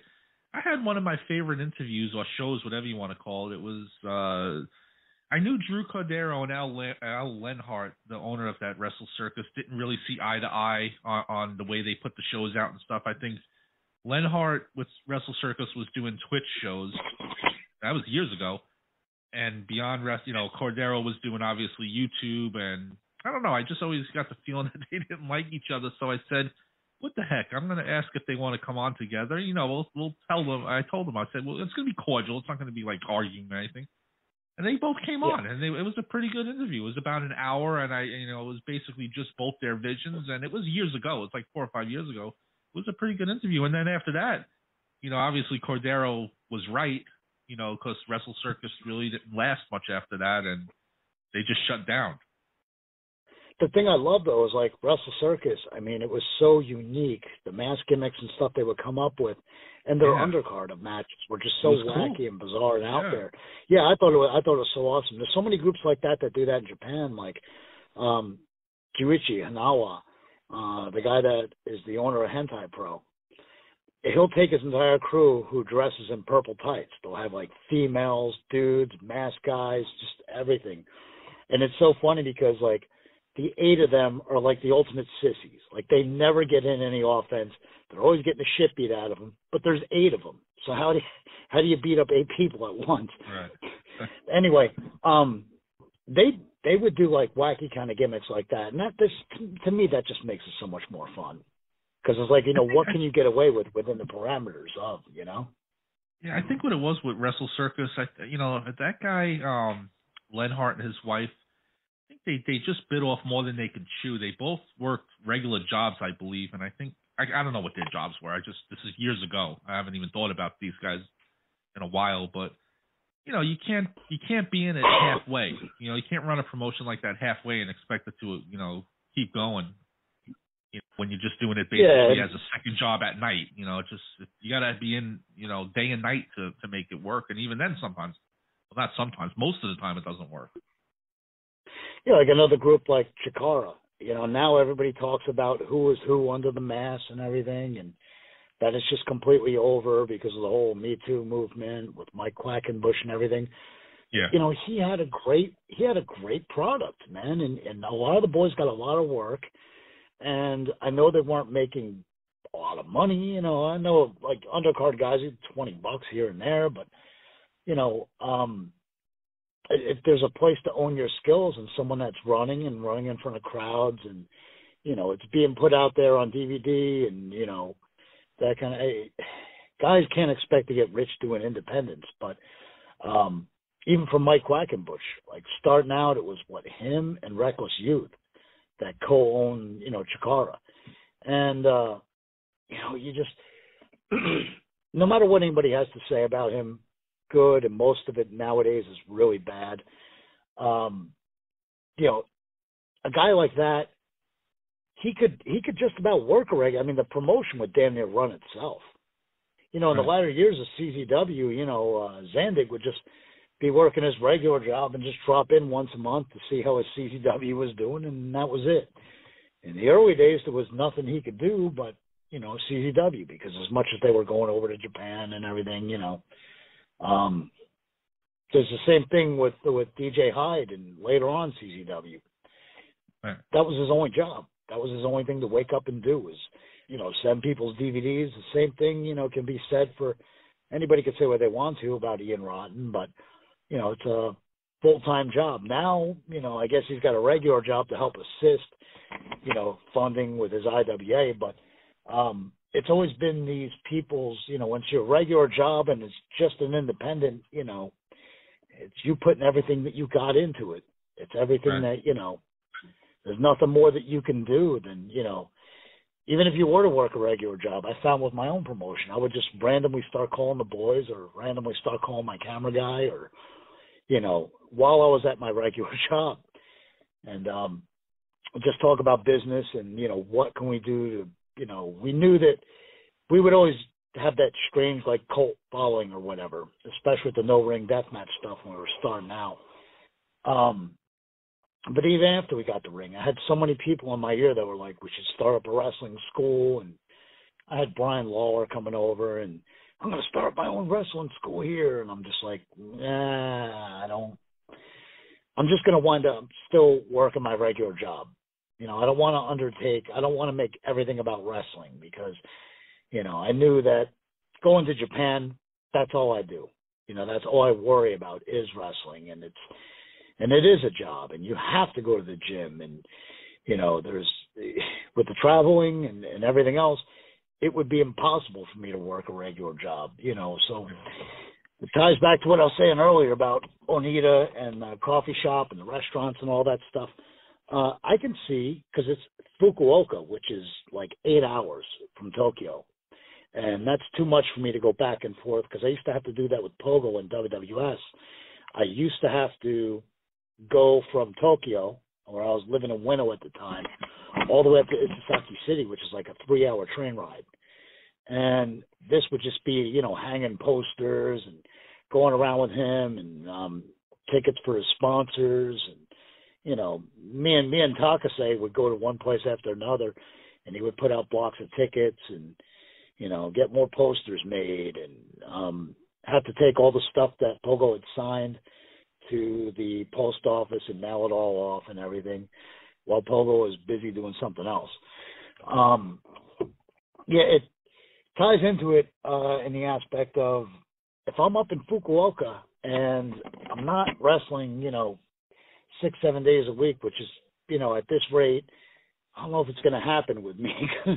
47 years old, man. Uh, either I got to slow down with what I'm doing on a nightly basis, or you know, consider life after wrestling. But um, yeah, it's it's one of those things that if I'm up in Fukuoka and I am working a regular job in Japan, so be it. You know, my house is paid for over there. Everything is good. Um, going to suck not sleeping in my own room at night, but at this point, I'm used to it. And I have two people that actually live under my roof that are there and take care of the place when I'm not there anyway. And what they pay for rent takes care of my property taxes. And, right. you know, so I got very fortunate there. I got very lucky. But, uh, yeah, you can imagine, um, just on an independent company alone and making it your full time job, you know, how many hours a week that you're really putting in. You're probably putting in way more than you are, you know, at a regular job. Absolutely. And, you know, just to go back to the Colin West synergy thing, do you think there was any way for him to come back from that after, you know, he was basically outed? Now, granted, it was 20 well, years ago, but I mean, you know, he changed his name. He obviously hid it. I don't know if he would have, if he yeah. could have just, you know, been honest about it in the beginning. I don't think too many people would have signed up, you know, and been like, you know, uh, don't worry about it. We'll still work with you. It's very hard to tell. Some might have, some might not have. Okay, well, a couple of years ago, don't you remember when that rude guy, rude boy Riley guy? Remember when he was outed? And this guy, name, yeah, yeah, this guy under his Google account had pictures of infants nude. Like, think about how sick that is. Well, who was this again? I know, I, I heard the name. Who was this again? Rude boy. Um, rude, boy. Oh, I think right, right, rude right. boy. The wrestler. Yes, yeah. I do remember now. Right. I forgot about him. And they had said within the last couple of years that he Jesus. actually, yeah, that he had actually snuck back onto some indies and was still wrestling, like here wow. and there. This was maybe great. like last year before the whole pandemic hit and everything. Right. Now right. think about think about that one for a fucking minute. That's crazy. Dude, infants. How Infants. the hell you, And and just just just just just let me insert this real quick. How the fuck do you get uh, uh, attracted to a freaking infant? What what a oh my god! I mean, to me, it's a stretch to be you know looking at a twelve year old. I think that's absolutely ridiculous. But an infant? I mean, what are uh, you looking at? Looking yeah, at even even when I was fifteen, even when I was fifteen, I wasn't into fifteen-year-old chicks. I'm like, I don't know if their When organs I was are fully 15, I was like, developed. you know, remote control cars, wrestling, you know, baseball, Yeah. big Mets fan. I wasn't worried. But how are these adults looking? Is it, well, that's why this. Yeah, when you when know, that's the problem. If it, if any if anybody out there snuck into the dad's stash, they weren't hoping to see fifteen-year-old girls or girls their own age. They were like, no, let's see a chick, like a woman with Well, see a thirty-year-old, right, with hips and and Yeah. Yeah. that that have a when good I was like when I was like 15, I'll tell you that right have- now, that have when a I was good- 15, 16 years old, I was I was going to the card store over here on Long Island and and getting the penthouse that only this one guy would sell me. Not to look for a 15 year old my age. I was I wanted to see a 28 year old that had all the things that the girls my age didn't have. the yeah, exactly. Yeah, uh, it, it, that you knew was a woman and had a sexual Yeah. past, and, right, and right. and you know, hopefully you could be in her history, you hear her in the future. You know, Yeah. you could be with her. You know, yeah. I mean, even oh yeah, and you know, I mean, the front counter help, the girls that take all the orders and that kind of thing. A lot of them are like borderline legal, and I mean, Right. it it just even at my regular job um and it just it reminds me of this pie graph that i'd seen that was drawn up and this chart told it perfectly well about how you know your interest as an 18 year old in 19 year old women and they showed like Right. the decline until the time you hit like 50 as if to say like you know what can an 18 19 year old girl do to stimulate your you know what i mean like what Yeah. could you possibly have in common with her like you know she's going to be like, like wanting jonas brother tickets and you're like oh, Yeah. fuck that i want to go to bill burr's comedy special you know Right. right. yeah but i mean like dude infants i mean how That's fucked crazy, in the head can you That's fucking. can you humanly possibly be? And you know what even makes it worse to me? What makes it magnified? Kind of like when people videotape their own crime, it Yeah. magnifies it. What magnifies Oh, it like when they record situation? this garbage. Yeah. What magnified it in the situation was, you know, I just learned about Google Drive and you know uh, about sending stuff out on Google Drive and that kind of thing. This sick fuck had it in his Google folders. All this. So it, so you could just basically find it right on his computer. He didn't even try to hide it. I guess It was after you could you I just needed to say he didn't know any go see it. better. Yeah, Yeah. God forbid he hit the share button or something, and yeah. then then you know somebody else's email. Somebody else would have fucking seen this shit. You know, I, I just I'll never understand. Um, you, you know, it's like a I'll never forget this. 2014. So now at this point, I spent one month inside Pogo's apartment, and one by one, he started having people because it happened right around Isesaki City. It happened in Gunma Prefecture, which is where he ran for mayor. Um, where oh no, wait, the the Latinos that murdered the Japanese guy was 2016, but in 2014, that was the summer that the rape took place, where a man raped and killed a girl, but not in that order, and it was like a 12 year old girl, right? Grown man. raped her then, right? Yes. So yeah, um, yeah, I wasn't trying to like spell it out like that. anyway, um, Like that Jeffrey Dahmer kind Yeah. of crap, right? oh Jesus Christ, holy shit. Okay, Doing- so playing um, with dead people. yeah, and then when they busted him, he only had like, um, basically cadavers and and you know what was he doing? He was boiling people's bones in acid. Yeah. nobody would find.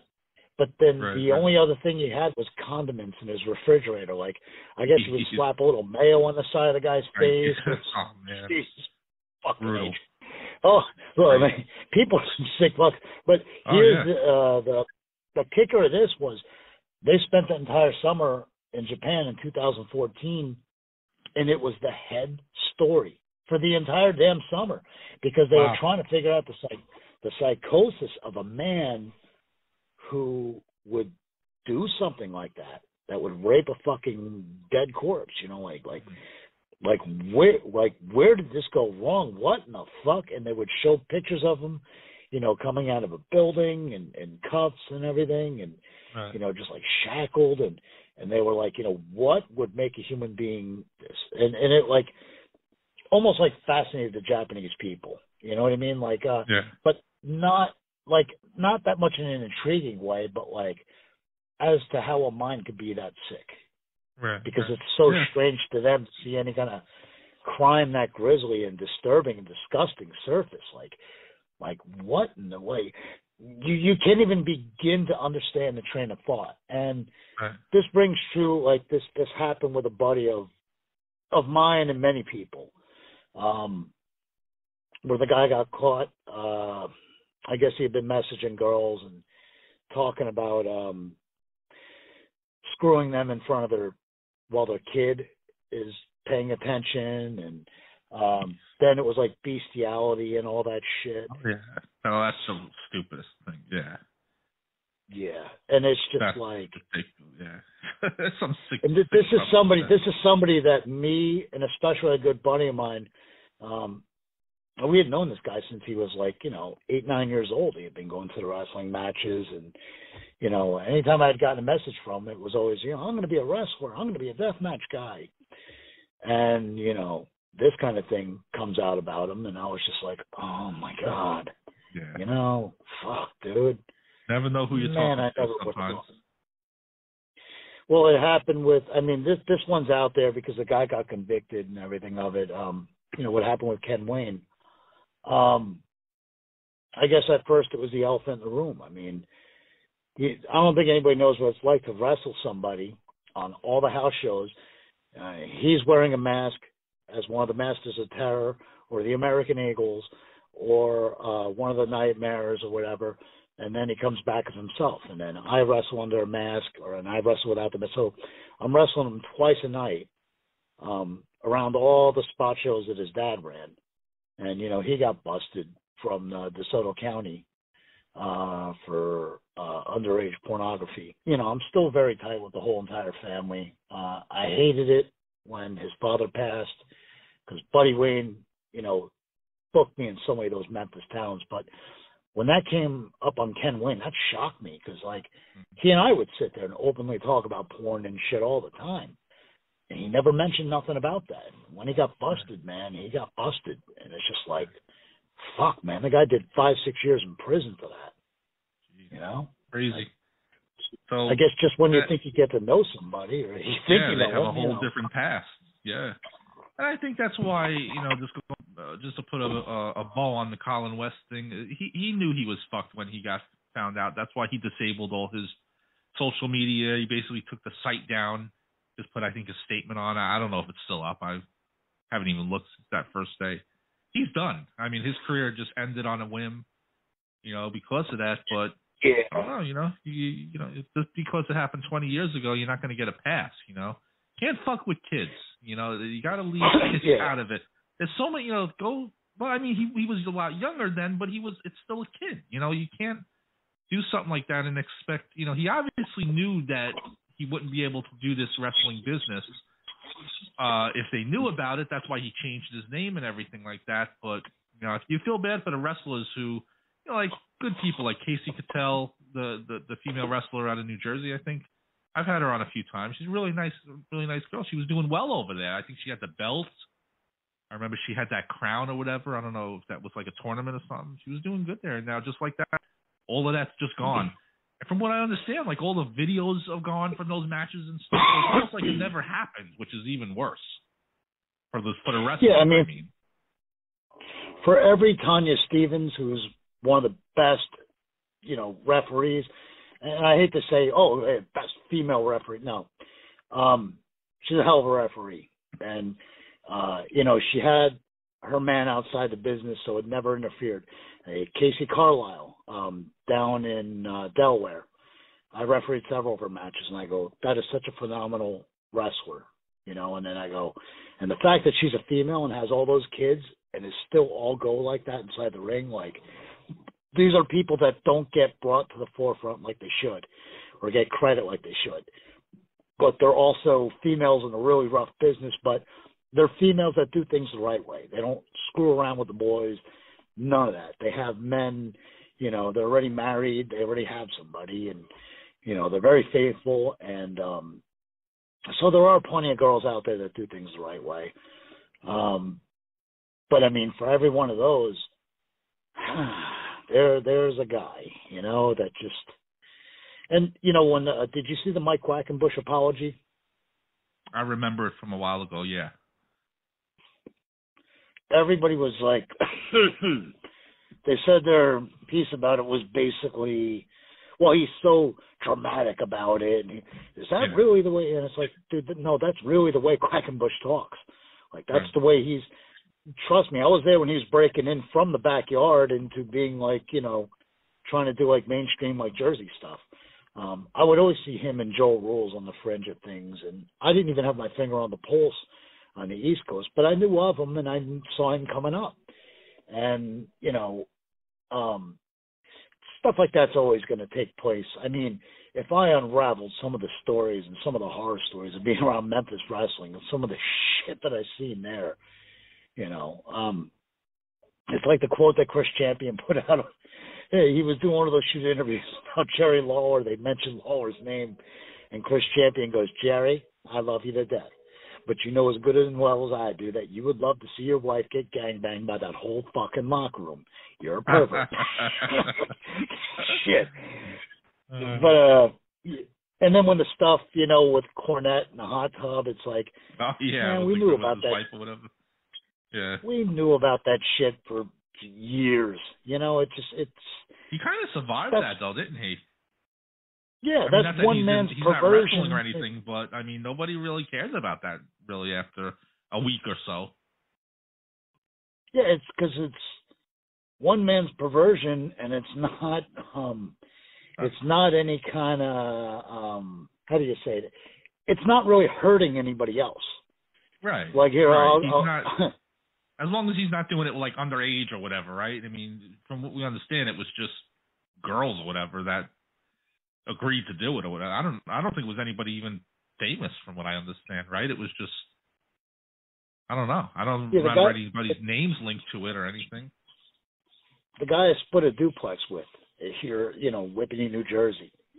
Um, the guy today, I get a text from him. You know, he he's on the left side of the duplex. That's his, and I get the other side. And the guy said, "Hey, man," he said, "Uh, a Indian guy." He's like, "Po- "A policeman was here knocking on door today, knocking on your door today." I go, "Cop, huh?" So I contacted the Whippany police, and I go, somebody knocking on my door today and they go that might have been the um like that that might have been the county sheriff or something and i was for a while there i tried uber and um you know there was some tolls and shit i didn't pay but i just thought if i was ever in that kind of situation i'm like oh well, I'm your average American male. I watch porn.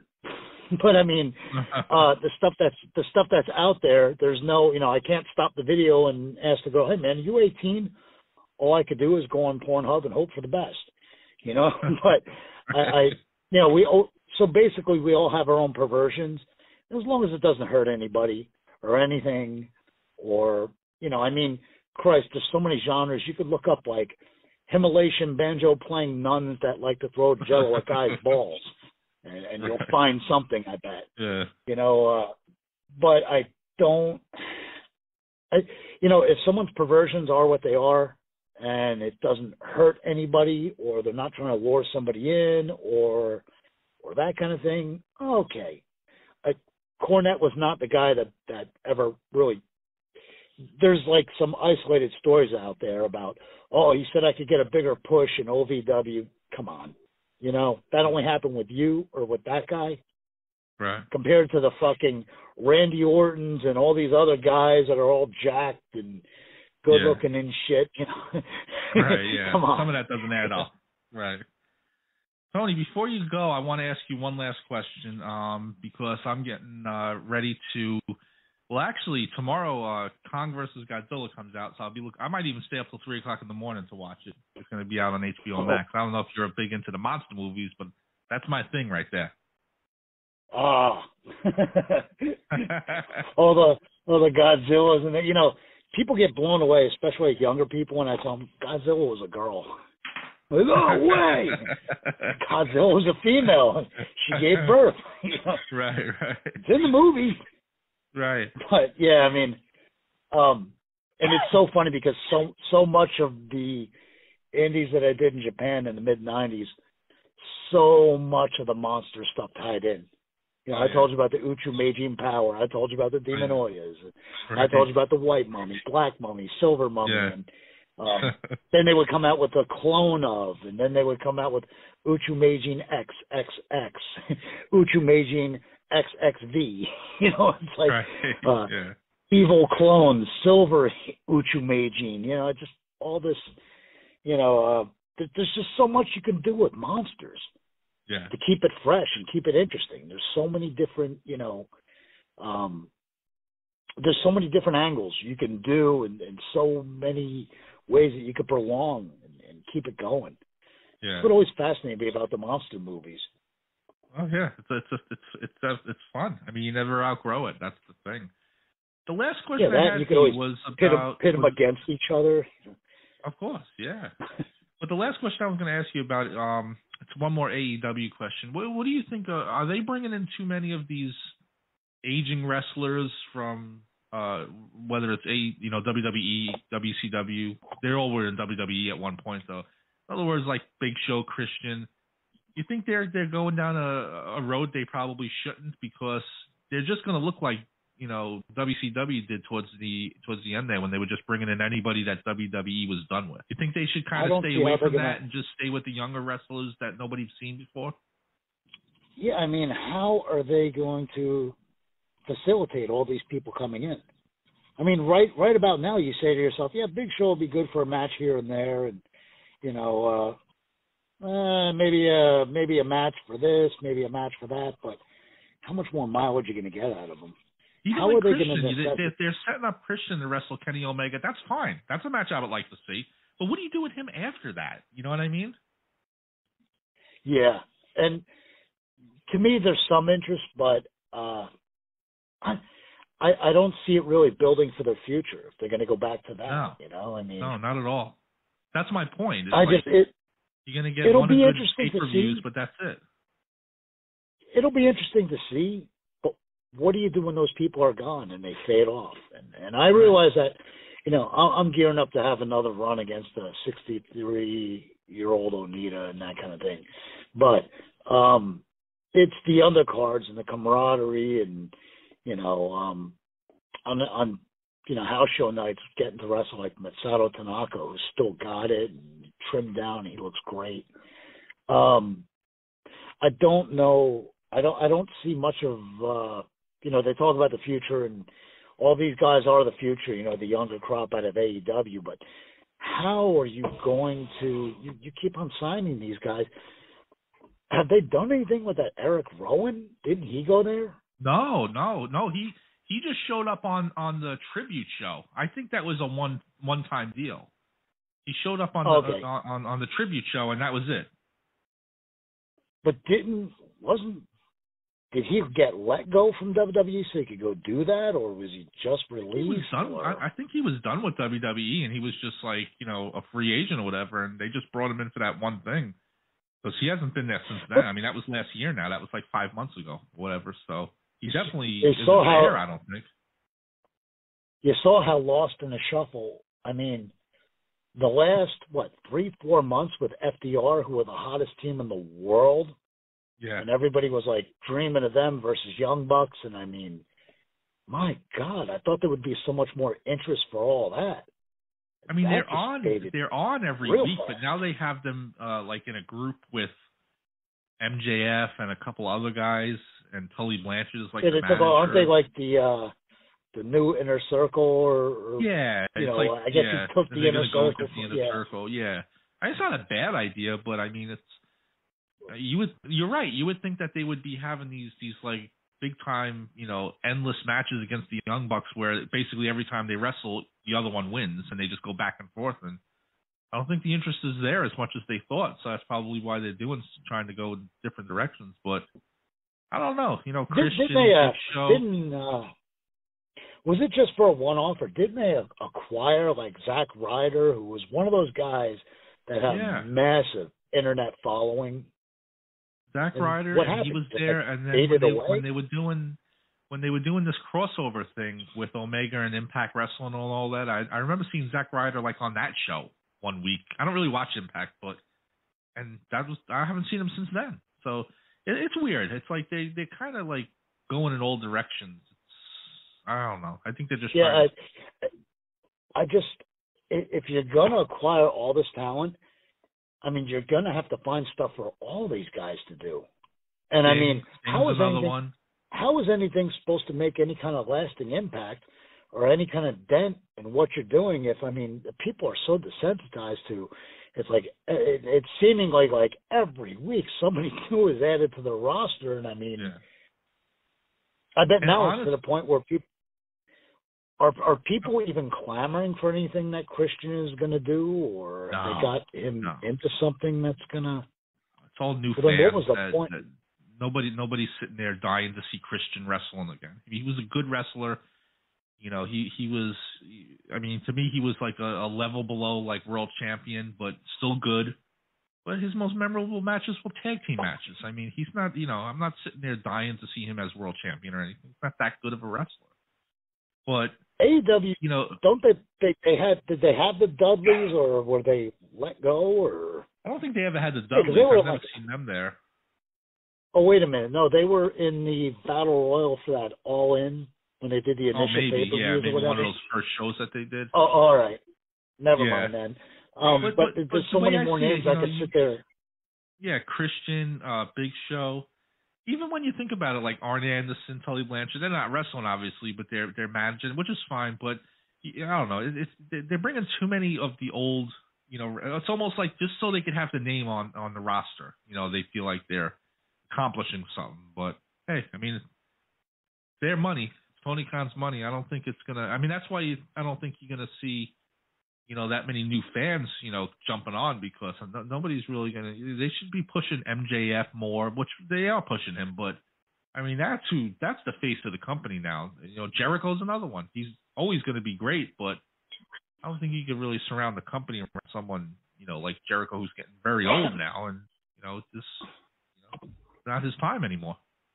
But uh, regardless, AEW is still the talk of the town. There's just a lot of people out there that, you know, and they're they're just going to pick and criticize and this, that, and the other. But um, does anybody really expect Mike Khan to not be on a microphone and not try to put over any of this? And yeah you know, um, people would have to understand his background anyway. That he is in fact big on wrestling. He always was. But I mean, did anybody really expect him to not be on camera and, and just kind of, you know, just be a guy, just kind of hanging around, you know? And yeah I mean I don't mind him had on camera he though. had to get it. Uh, what was it? Him and Shivani were on. Uh, right. I guess when they did the whole the whole thing with uh, Impact and and whatnot. I mean, you anybody else out there would have to expect him to be a part of some part of this, yeah. you know, or at least be the one explaining uh, when the bomb didn't go off or you know whose fault that was or whatever.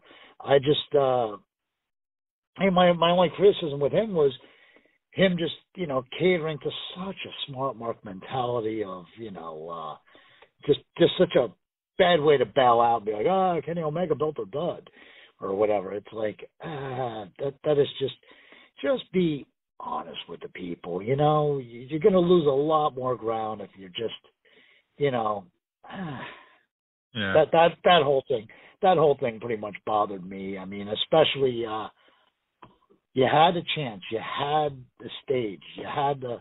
You could have just simply said, "Look, man, we're not familiar with these things, man. Look, we screwed up."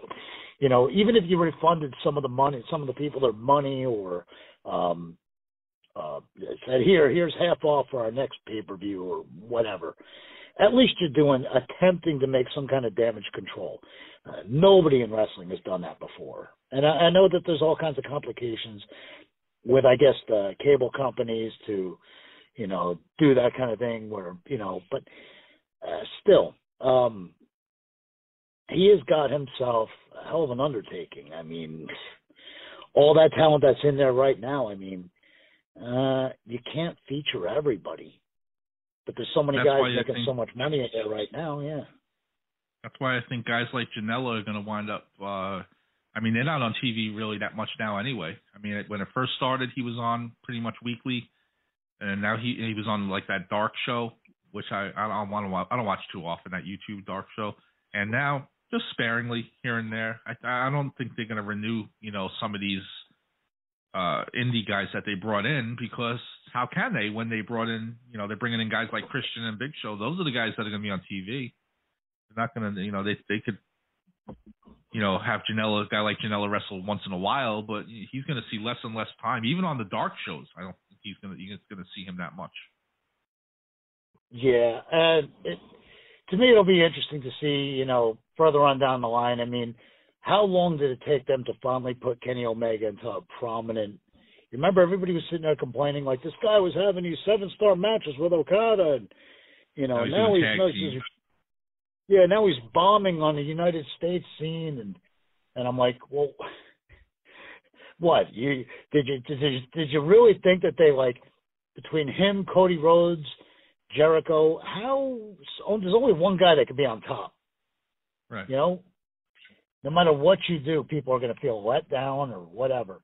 Um, it's your casuals that you want, not that hardcore. That hardcore base going to team in, you know, is going to tune in no matter what. And yeah. like I said before, AEW is the talk of the town. Yeah. I mean, they. It just seems to me they get so much more attention. Um, might be by a vocal minority or whatever, the people on the internet, but uh, they always seem to be a part of the hot topic. You know, they always seem to be someone, a part of what's going on. I'll tell you someone who I really like uh, that I think is, is is is becoming a star uh, in AEW, and is that Britt Darby Baker. Allin? Darby Allin too. Oh, I thought Britt Baker yeah. is is really doing well. Yeah, and um, again, there's only when you get a, I guess when you got a Serena Deeb there, you know, and then you got all these other girls that are just so hungry and you know, just so ready to friggin' turn it all loose, all the Japanese girls and everything. There can only be one that's pushed to, you know, more than everybody else. There's only one that's going to be pushed to the top. And she's not even she don't champion. Get overlooked. Yeah. But, uh, or it might be a thing, the thought process of, might be the thought process of, uh, oh, she doesn't need a belt to be somebody. True. But yeah, to me, all that stuff and how it plays out in the future is what fascinates me about you know the current day and era. And uh, I wish I had more of a finger on the pulse of the product and that thing, but you know, I know what I hear, and you know, what I hear pertains to a lot of casuals too. I mean, because uh, people come up to me when they just want to talk about wrestling, and with with with some of their line of questioning or the things they have to say, I'm like, I'm you got to understand something. You know, I'll, I'll tell some of the casual people, you know, for me, it's a business. I can't approach it. I can't look at it through your eyes. You know, you're the consumer. You know, and if that's your complaint, and that's what you don't like what they're doing with the product, or that's what you do like that they're, you know, it's like I'll take that into consideration because that's somebody that could be, potentially should be, somebody that's you know tuning in, giving them ratings, giving them feedback, buying their pay per views. That's what they need. They need the person that's like borderline iffy, kind of. I don't know if I want to buy that next one. I don't know. If I, right. I think I could skip over Dynamite this week, or you know. Um, you know, when you when when you look at some of the some of the wrestlers that we that we just mentioned, uh, if you could say to yourself, and and not not saying that WWE is obviously not what it used to be either. I don't think any of the wrestling really is. But you know, when you look at like a guy like Dar- like you said Darby Allin or like I said Britt Baker or MJF, if you could picture them going to WWE and doing and, and being a star, I, I think then you have to admit that they're a star now. You know, you, you obviously you yeah. know I don't think Joey Janela could go to WWE and be a star. Unfortunately, as much as I love that guy, but I don't think he would really couldn't go there right now, but I think MJF and guys, you know, Darby Allin, Britt Baker definitely. I don't think like Nyla I Rose think, can go over to WWE and, and be a star, but there are some over there that that could do it. I remember um going into things uh before AEW even. MJF was the shit. You know, everybody wanted a piece of that guy. Everybody, a, all the independents. He had a, uh, a, a tr- not a, I don't think a tryout, but I remember reading that WWE was looking at him, and boy, did they miss the boat on him. They'll probably get him eventually, but they should have grabbed him. He should have been at that performance center. I think for that guy's level of experience, it is absolutely unbelievable. Just blows me away. One of the best talkers. He, one of the best heels. Yeah. And he looks and sounds and wrestles like a guy that has been doing it for so long, it just comes so naturally and easy for him. You know, his his promos, everything about the guy. You know, and I'm I'm I'm almost shocked that people haven't pointed out. You know, well, he's not the biggest guy. That's okay. You know, because he doesn't have a lot of size. But I mean, I got it. Um, everything else, oh, he's he's everything that WWE you know what I mean? Young, can grow with the company and everything. Uh, I see it down the line for him. I think eventually he'll outgrow AEW. Yeah, I think so. I, I yeah. think. Yeah, I think it's a matter of time before he does outgrow him, but it's going to be further, further on down the line. Um, yeah. Within AEW, eventually there has to be some kind of implosion. You know, there, there's there's so many guys that are so good that eventually cracks will start showing up, and some guys might, you know, consider dipping and going to WWE if they're not under a contract or, you know, right, they're not right. going to keep everybody. The, No. the roster is huge, and it seems to be Yeah. growing by the day. It seems that they signed somebody new or somebody else, and uh, you got what QT Marshall has got a whole bunch of guys that he trains, and Right. so there's an endless supply of guys just dying. Uh, you know, Right, right. To get on that get on that stage, that's for sure. I have three minutes before they're gonna cut me off. I have to we, we almost have two hours here. That's my that's that's when Holy they cut me off on Blog Talk. But um oh boy. this was a great interview. Another great one. We always have great ones. But uh this was Yeah, I mean, I always have a blast one. talking to you.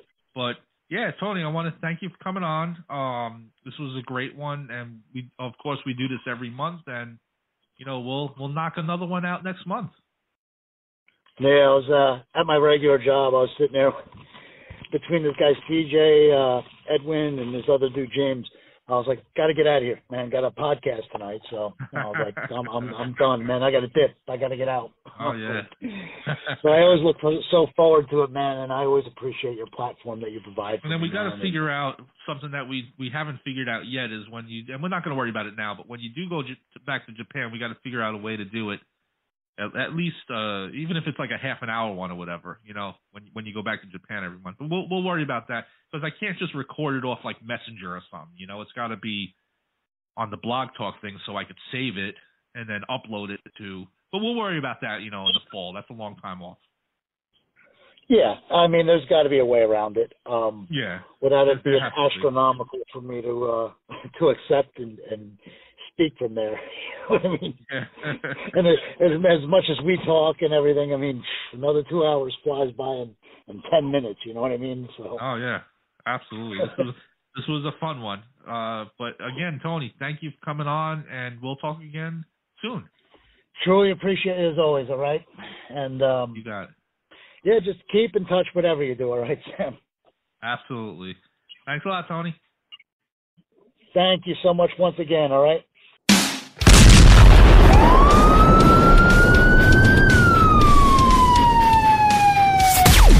You've been listening to Reckless Airwaves Radio. Check us out daily at recklessairwavesradio.com for all the latest Reckless interviews, as well as other Reckless shows, including The Rob and Slim Show, Corrigan's Corner, and Straight to the Point with Percy Crawford. Yeah, we don't want to do anything to scare your children. That's the last thing we want to do. We don't want to scare anybody.